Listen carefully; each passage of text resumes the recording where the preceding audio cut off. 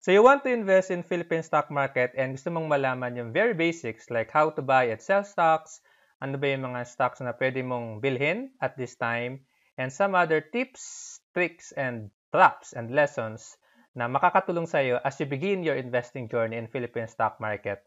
So in this video, I'm gonna teach you ano ba yung mga basics in navigating yung COL Financial account online.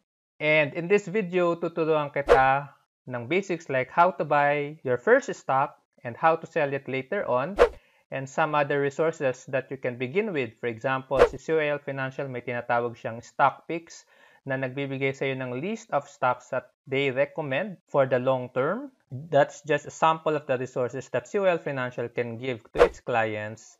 And lastly, some tips and traps no, that can help you navigate your journey as a starting investor in stock market. And if wala ka pa namang account kay COL Financial, so you can check this video how to open your COL Financial account online. So hindi mo na kailangan lumabas ng iyong bahay. In fact, you can create your own account using your mobile phone. So available yan doon sa ating previous video in our YouTube channel. And if you want to learn more about how to buy and sell stocks online, so ito yung intricacies, how to determine the opening price, for example, and paano nangyayari yung matching ng buy and sell order. So you can also watch this previous video. And for more other lessons, you can check the site. So meron yung ebook giving you the very basics about how to start investing in Philippine stock market. And for other practical videos, you can subscribe to my channel. So make sure to click the notification bell so you get updated for every future video that I'm gonna share with you guys. So with that said, let's go back to our lesson and log into our COL financial account. So now, as mentioned, the stock market is open from 9 a.m. to 3.30 p.m. And dahil lang market ngayon is open, we can go log into our COL financial account. So just enter your login details and you will be brought doon sa kanilang homepage. Ayan, so ito yung kanilang landing page after logging in. So very overwhelming ito no, for a new investor But if you want to, for example, go buy and sell stocks, so pupunta ka lang dito sa trade and enter order. But first, let's go back to this screen. So ito yung kanilang homepage and makikita mo dito ang iyong user ID, your account number, and then your equity value. So ito ngayon yung value ng portfolio mo. So mamaya we'll go back to how to see your portfolio. This day change, so ito yung amount, increase or decrease ng investment mo during this trading day. So remember kasi ang price ng stocks ay nagbabago every trading day. So dahil market is open right now, pwede itong magbago within the day. And then meron ka ditong my last 5 trades. So this is just a quick place to go if you want to see your previous trades on this day. So, and then some latest research and COL announcements and PSA news.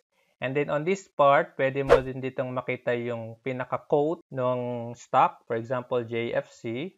So makikita mo dito yung bid volume. So ito yung number of shares that are willing to buy at this bid price, 144 pesos and 90 cents. On the other hand, meron ditong offer price. Ito ngayon yung mga gustong magbenta and ito yung kanilang volume or number of shares. And then here, meron tayo ditong actives na tinatawag. So these are the stocks that are most active right now. Pag sinabing active, malaki yung trading value.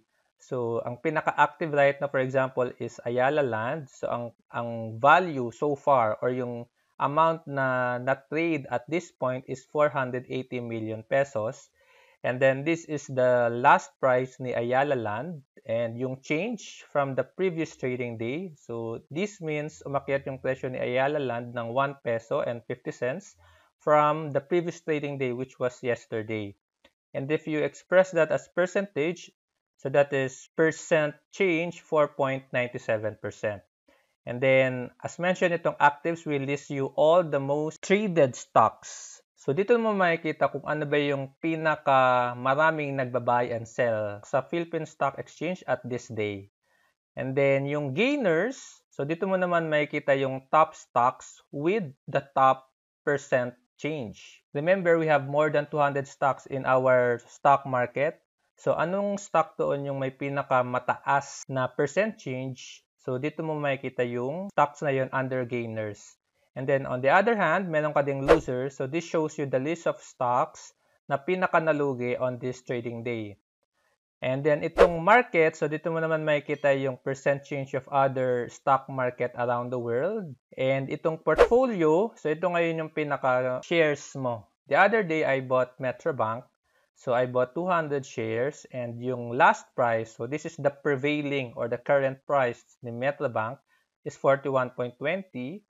That is a change of 1.25 from previous closing price and expresses percentage, so that is 3.13%. Ito lang yung pinaka-basic nitong landing page nila. And if you want to go to your portfolio, so ito lang yon you go to trade and then meron ka ditong portfolio. So click on it and makikita mo dito ang iyong portfolio. So itong cash balance, so ito ngayon yung available balance mo that you can use if you want to buy stocks. So now I have 1,986 as my buying power. On this stock position, so dito mo ngayon makikita yung pinaka-portfolio mo, ano ba yung stocks na hawak mo ngayon. So in my case, I have Metrobank and that has a market price of 41 peso and 15 cents. So this is the current price. My average price, ito ngayon yung average price nung binili ko siya. How many shares do I have? So I have 200 shares. Itong uncommitted shares, so sinasabi lang siyang uncommitted, that means hindi ko pa ito binibenta. So market value, this is the market value of this stock, Metrobank. And now I have a gain of 142 pesos. So expressed as percentage, that is 1.78%. So yung total equities ko is the total market value of all my holdings. Pero dahil I only have one, so that is just the same as this market value ni Metrobank. And my total equities gain loss so far is 142 pesos and 74. So it is possible no na marami kang stocks on this table. So i-add lang nila yung market value and yung gain loss to get this total equity and total gain loss. Ano ngayon yung day change? So ito yung tinaas ng value ng investment mo from the previous trading day. So compared to yesterday, umakyat yung value nung aking investment ng 237 pesos and expresses percentage so that is 1.78. So now my total account equity value is yung total equity ko which is 8,156 plus yung buying power or actual balance that I have. So this one, so pag inad mo ito and inad mo yung total equities mo, so you will get this total account equity value. So ito ngayon yung pinaka-total value of your investment including yung buying power or cash that you have right now.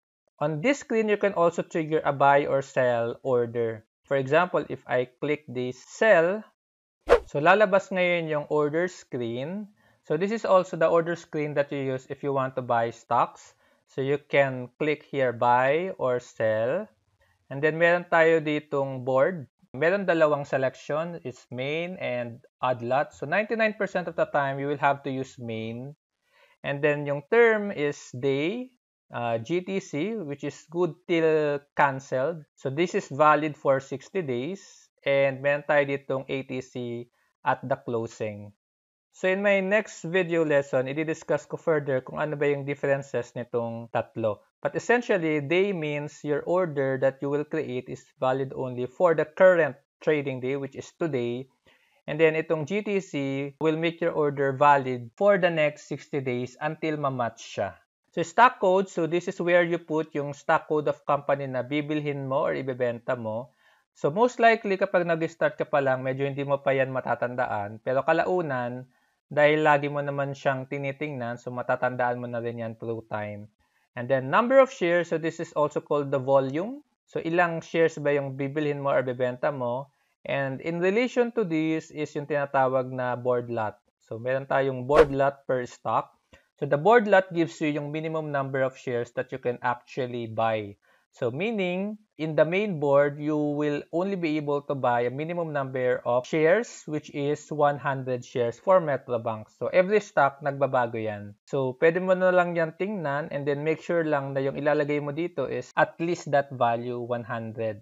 So kapag naglagay ka ng 50 dyan, so hindi nga yan papayagan. So halimbawa, try natin, preview order.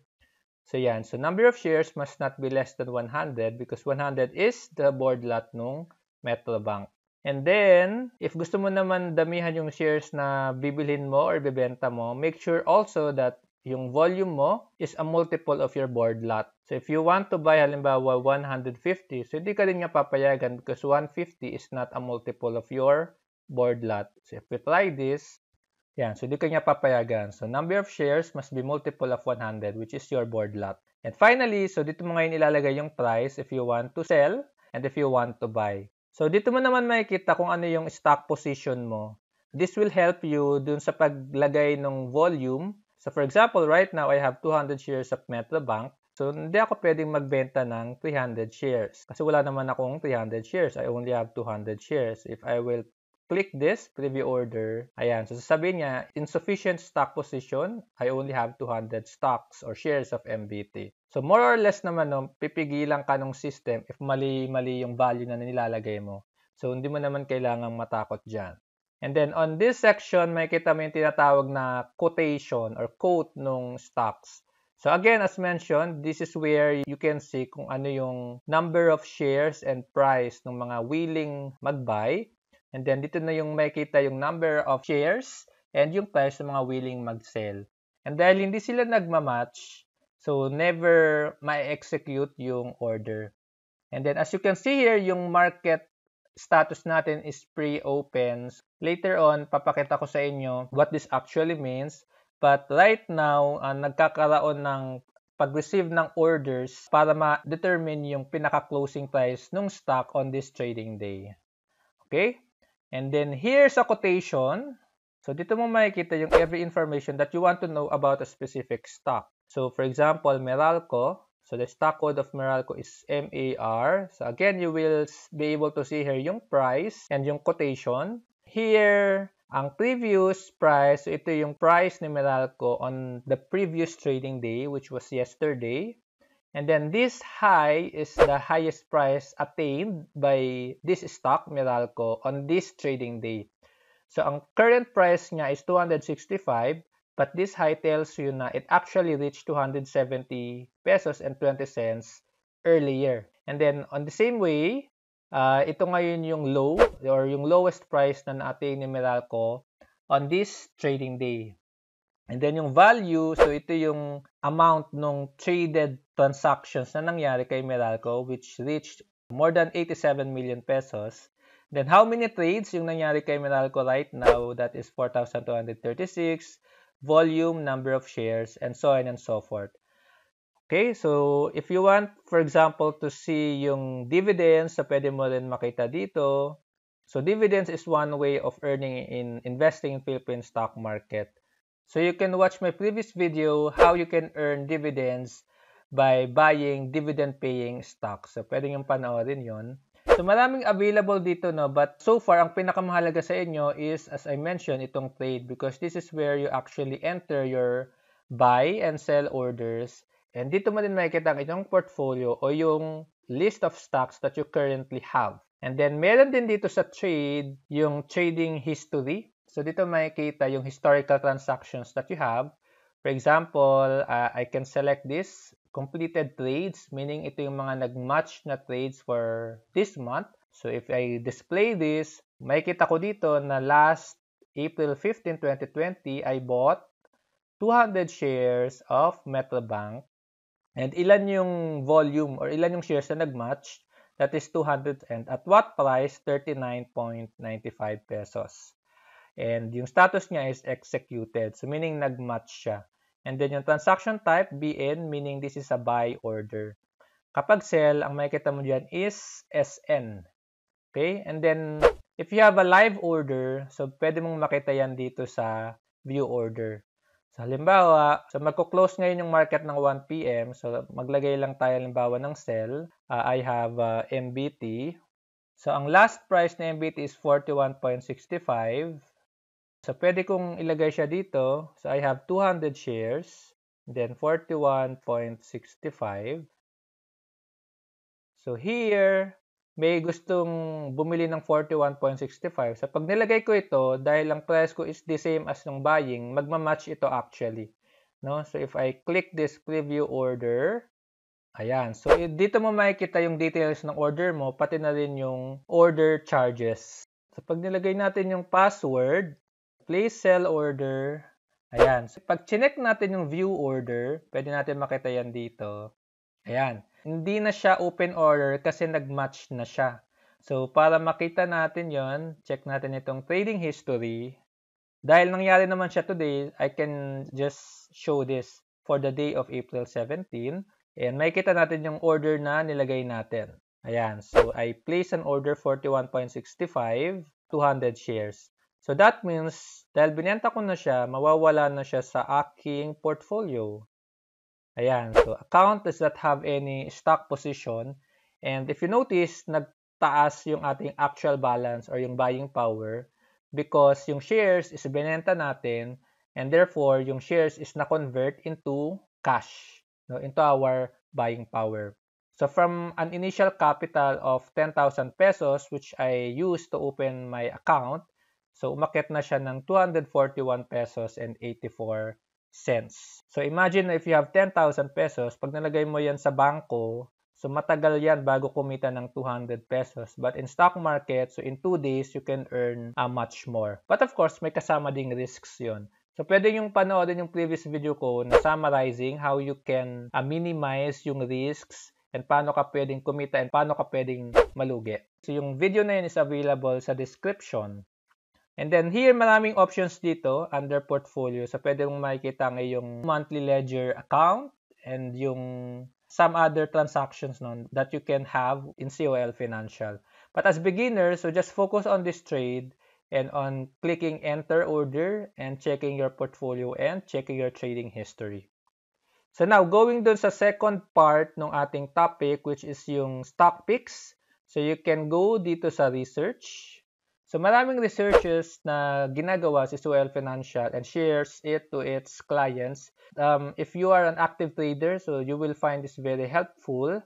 But if you are just a new investor, uh, you can focus on this calling the shots. So dito mo makikita yung pinaka recent na stock pick recommendations ni COL Financial. So if you're a new investor, yung picking of stocks can be very difficult. So you can start with the stock picks ni Suel Financial. So marami siyang explanation na ginagawa dito na fundamental analysis, market analysis, pati na rin yung mga nangyayari sa ibang country. But if you are just interested in the stock picks, so somewhere on this presentation, may kita mo yung stock picks nila, which is available here. So, meron siya ditong industry. So from consumer, meron siyang tatlong recommended stock picks. Telco, so meron siyang recommended na isa. And sa power, meron siyang recommended na isa. And then ito yung last price ng stock picks nila when that uh, during the time they created this recommendation. And then, itong FV or yung fundamental values, ito yung kanilang target price essentially. No? So, they expect na ma-reach ng stock na to yung kanilang fundamental value or yung target price nila. Meron din silang tinatawag na buy below. So, this is just a form of risk management. So, ayaw mo kasi na habulin yung stocks sa mataas na presyo. So, yung buy below nila, this only means na you should only buy at this price and below. So, for example, yung URC, so ang buy below niya is 110, which is mas mababa doon sa current price, no? So, pag chinek natin yan na halimbawa dito, punta ka ngayon sa quote, and then check natin itong URC. Check mo yung last price, 126. So, ang buy below niya is actually 110. So, kung susundin mo itong stock picks ni Suel Financial, so mag-aantay ka pa na ma- ma-reach yung value na to before you buy URC. Check natin na halimbawa yung FGen. So, punta lang kayo sa quote and click FGen. Ayan, so ang last price niya is 1778. Yan, so ang buy below niya is 1880, which means if susundin mo itong stock picks, pwede mo itong bilhin dahil ang market price niya is 1778 which is actually lower than your buy below price. So again, yung buy below means uh, you would want to buy this stock at this level or lower.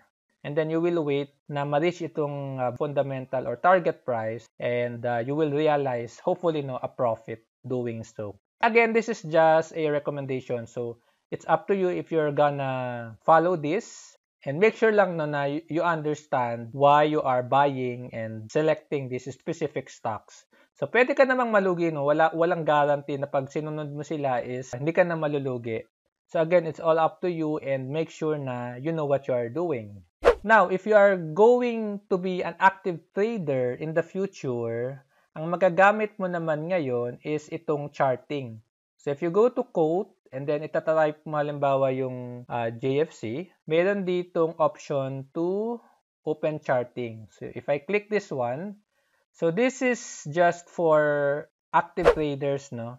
So, kapag active traders, you are closely monitoring the price action nung stocks na sinusundan mo. May raming options dito sa charting. So, I'm gonna share it with you in the future videos. Halimbawa, pwede mong halimbawa check itong kung gaano siya umakyat. Halimbawa, from, from this point, then bumaba siya dito nung March 19. So, as you can see, bumaba yung presyo niya ng negative 57%. And now, from this point, March 19, up to the current market price niya today, So, umakyat na siya ng 57%. So, ganun yung volatility sa stock market, no? So, in a span of uh, several days, pwedeng umakyat yung investment mo ng 57%. But also, in a span of few weeks, pwede rin bumaba yung investment mo ng more than half. Again, this charting tools is available even if you're a new client ni Suel Financial. And then, ituturo ko sa inyo how you can navigate with this charting For example, how you can add uh, indicators na tinatawag para malaman mo yung insights that is hidden in this historical price action ni JFC. Yan. So, going back to the COL Financial, so meron ditong Street Smart. If you want to explore, pwede yung check yan. And lastly, itong mutual funds. So, si COL Financial, hindi lang naman siya stocks lang ang ino-offer niya. So, pwede ka rin mag-invest sa mutual funds And if you want to learn more about investing in mutual funds, meron na akong previous video how you can find the best performing mutual fund and ano ba yung mutual fund in general. So you can also watch this video and yung link is available also in the description of this video. So yun, yun actually yung lesson natin for today. So I hope meron kayong natutunan. And if you have any comment or question, you can put them in the comments below. And if you like these videos, I would appreciate if you will subscribe to my channel. So leave a thumbs up, leave your comments below or questions, and share this video so that we can reach to more Filipinos who want to achieve their own financial freedom. So thank you guys for watching and see you in our next video. God bless us all. Bye-bye!